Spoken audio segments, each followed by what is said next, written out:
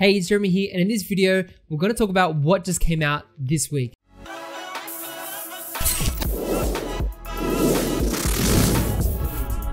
So, over the past week, I just noticed that two things have happened.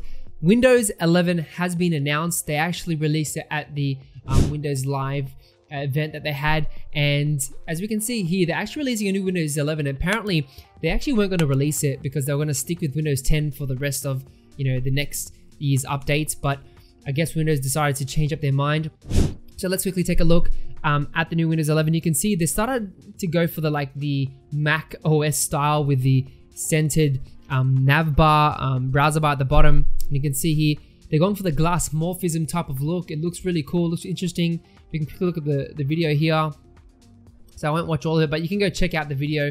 It's on YouTube um, at, with the Windows account. Um, but you can see here, you probably won't be able to hear it, but really cool visuals. Um, transparent feel, very clean. They actually flattened out the Windows logo instead of having it on that um, shifty angle. Beautiful animation here, lovely, very sharp. And it shows you like all the new updates, which is really interesting. So I thought this was really cool. Like, you know, the better optimized we can have the windows, then why not? You know, why not increase productivity um, and maximize it? They've got this cool new feature where you can actually snap layouts and, and things like that. I already use an app for that. So that's kind of already redundant. But anyway, um, new ways to connect, which is cool. Google, uh, I think, looks like Google Meet to me, but I don't know, it looks good. Uh, let's scroll down here.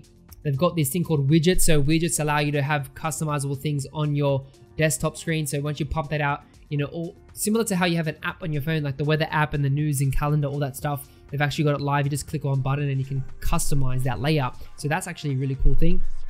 Now let's scroll down. They've also got, you know, Game Pass Xbox. I don't, I don't play Xbox, so we're all good for that. And there we go. Looks pretty cool. It's all the, the stats. There. That's pretty cool. And you can go on um, introducing Windows 11. It's actually still trending right now, ranked number 15 on the Windows channel. So the same video we just watched, you can watch it there. But my the second announcement that I found really interesting this week was actually Adobe releasing something called Adobe Substance 3D. So we already have Adobe Dimension, as you might know, where we can create 3D objects, 3D um, you know, mock-ups. But this is actually more for um, 3D designers who want to create actual scenes. So you can see here um, a quick mock-up, which I think is really, really sweet. And if you can play this video, um, it's like a breakdown. And so they break down, that's an event, um, which is cool. They break it all down. But basically, it's a lot more detailed than um, Dimension. So here's a quick intro to it.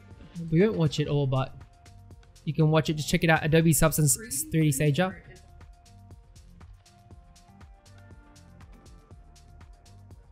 So it's really going to add more, um, you know, parameters, models, scenes. You can sort of probably animate stuff.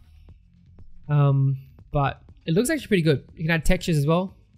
The only issue is I have with this is that they're actually charging more. It's not included in the Adobe Creative Cloud. It's another extra $30 on top, right?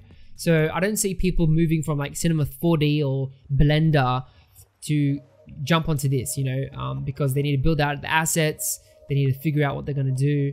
Um, so, you know, you can go on their YouTube and check out. They've got like these nodes and parameters and graphs so you can input data like texturing and, and, and displacement maps and all that type of stuff. So I thought that was pretty interesting. Um, people were raging in the video because apparently the the audio, she says instead of nodes, she says nods, and she says parameters instead of um, parameters. Um, I got an Aussie accent, so I don't know. Could, hopefully, it sounds right. But anyway, it was kind of funny.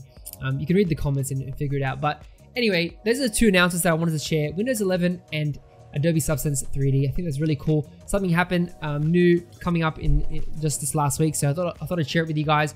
But let me know. Do you think it's an interesting investment? Do you think um, Windows are going in the right direction? Do you think Adobe is just going for another money grab, as you call it, or you know, is it good for technology? You know, who knows? Drop your thoughts in the comments below and we can have a chat about it. Remember to smash that like button and subscribe for more design and creative content every week. Love you guys. Thanks so much.